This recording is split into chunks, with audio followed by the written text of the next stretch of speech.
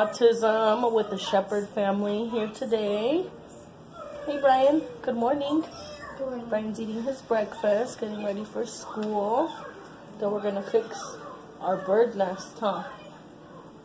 Our bird nest looks a little bit, uh, little messy here, but we're getting ready so that way we can be all set to go for the bus. Now my kitchen, on the other hand, is destroyed. So it's a cleanup day today. So we'll see what kind of um, miracles I can work in this kitchen, and uh, I'll do a before and after picture just so you guys can see the drastic change in kitchen. So last night was really, really, really, really cold when I went outside to let Will out to go potty. And so I told my husband, bring me a sheet that I had in the backyard because I'm like, my plants are gonna freeze if it's as cold as it was the other the other day. Because the other day our heater didn't even turn on. That's how cold it got for us here in Arizona. That the heater didn't even work. Like it took until later for it to like unfreeze, I guess, for it to work. But let me show you guys. It's so crazy. Look at this. So I covered them, right? They're covered. Covered, covered, covered, covered. But check this out.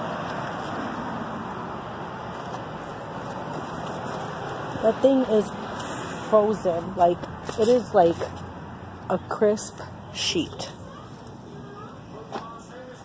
It was not a crisp sheet when I put it out there, let me tell you. It was just a regular sheet and it is frozen. Like, if I needed to stand it up, it would stand. That's how cold it got last night. So I'm very glad that I covered my plants because one of my plants yesterday morning was all wilted and, or withered. I'm sorry, wilted. It was all withered and like the leaves were frozen and those leaves are gone. I can't there's nothing I can do about those leaves. Now those leaves are gone. So at least my plant didn't die. But Brian's finishing up so he can take the bus to school. So we will talk to you guys later. A few moments later. So Brian's at school now. So today it's just gonna be me and these two girls until it's their pediatrician appointment. So we got little Chloe right there. We have Natalie over there. They're watching some B movie. And now it's time to get them some breakfast going that way. We can get uh, get that out of the way. But I don't know what to make them for breakfast. And I feel sick. I feel like barfing. No, I am not pregnant. That is never happening again. I have my three kids and I am set.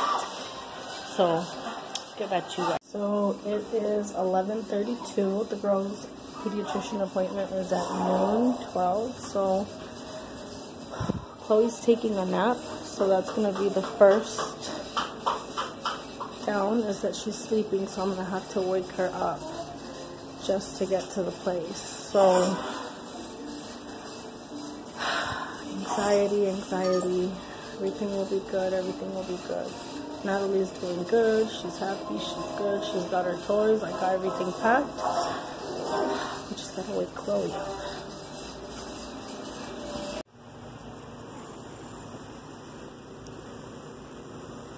Wake up, baby boo. Wake up, baby boo. Baby boos. Wake up. It's wakey wakey time oh, gosh, this is gonna be bad.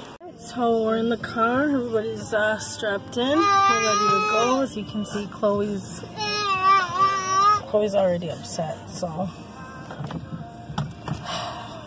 again, staying positive. But we'll see you guys when we get to the doctor's.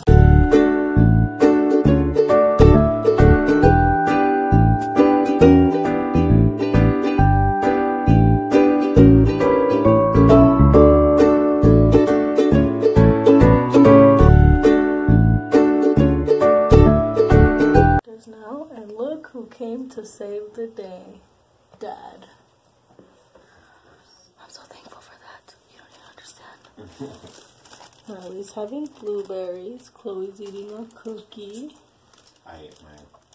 Niley's getting one shot, so see how that goes. She doesn't know yet, but she'll soon know. But I'll have help, so they can cry all they want. no, not really. They can't. Chill, chill moments. Everything's gonna be fine. Uh, hey guys, so doctor appointment went well. Brian is here now.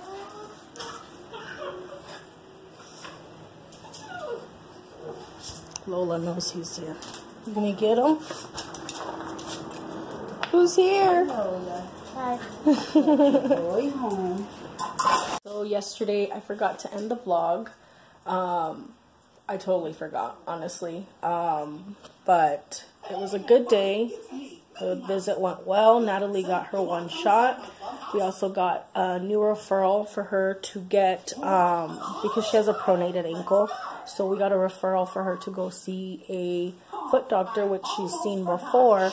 But instead of getting a shoe that's got, um, the implant already built into it, and I'll put a picture just so you guys can see what kind of shoe that is. Those shoes she outgrew already. Like, it literally took like two months for her to outgrow. So we're trying to see if we can't get SMOs. Post a picture of those too so you guys know what that is. Um, but that way we can have those last longer and then those can actually go into any shoe. So that's what's freaking awesome with it is that it can go into any shoe. So we don't have to worry about her outgrowing them so quickly. It just goes in the shoe, any shoe, and we're on our way. So hopefully she starts walking soon. Um, I also talked to the pediatrician about Chloe's delay in walking because she said she should be walking by now, which she's barely crawling, which I'm so proud of her. She is officially crawling, guys. I've got two moving children uh, well, three, but Brian is nine. So, but got Chloe who's one, and Natalie who's two, who are neither walking. Chloe, who is a year and almost two months, is barely crawling. Where Natalie is two and she's walking along the furniture and stuff, but she's not letting go. So the last time the therapist was here, it was pretty cool because she brought her a little. Uh, little pediatric walker. So I put little flowers on them to make it fun for her, but she really doesn't like to use it that much. She'll use it and then she'll just leave it and start crawling and going on her way. So I just hope that I have Natalie walking soon. There's that famous horn that I always have, whatever, I'm done trying to fix it. But I'll let you guys go because I have a dirty baby to clean up. It's dirty. We had spaghetti, huh? Yeah. I'm trying to get her to eat with the spoon, but it's not working out well. I give her food in a bowl and a spoon, and as you can see, things end up on the ground. She just ends up just getting it all over the place and then eats that way. So, hey, whatever gets her to eat, but we're practicing eating with a spoon because she needs to start using her utensils rather than flinging them and playing with them. So, anyways, I'll let you guys go because we're getting fussy. We want to be clean. Are we all done? All done? We're also trying to teach some sign language, so definitely got my plate full, but I want to thank everybody who is following and watching. Thank you so much for following our journey, and hopefully, we get to together experience my baby's walk soon. But don't forget to like, subscribe, and like Brian has said, don't forget that notification bell button. So, thank you guys for watching, and we will see you guys next time. Bye.